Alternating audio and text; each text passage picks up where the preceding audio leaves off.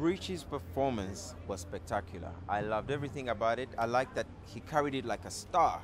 He, he worked on his vocals and worked on his wardrobe. He looks good.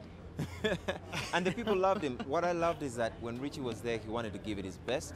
He sang from the heart, he sang from the soul.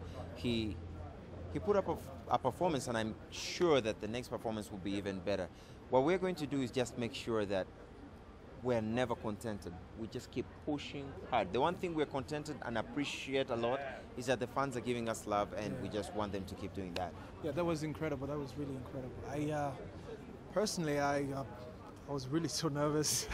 My thought was almost completely dry. You can say that again. And, and uh, the reception I got was overwhelming. I'm really, I feel blessed, man. I, I feel like uh, finally God has uh, given me a chance to not, I'm going to say this in Luganda, to not okuswaza all the people that believe in me, especially the King of Moyo. By okuswaza right means here. not to shame the yes, people. Yes, not to put to shame to Maurice Kirya for believing in me and also for uh, even the fans that uh, uh, shouted out and even the judges and everything. Yeah. yeah it was really and, awesome. And I like that the judges are not really taking sides or trying to favor one particular person. Yeah. I mean, the last time they grilled Richy, they really did, and I could see why they grilled him.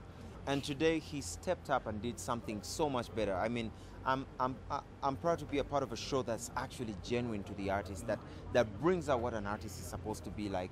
And if more artists, like for example, like Richy right now, if he gets such criticism, it's only going to make him better because he knows this is a real show, this is the real deal, and this matters, and everything counts.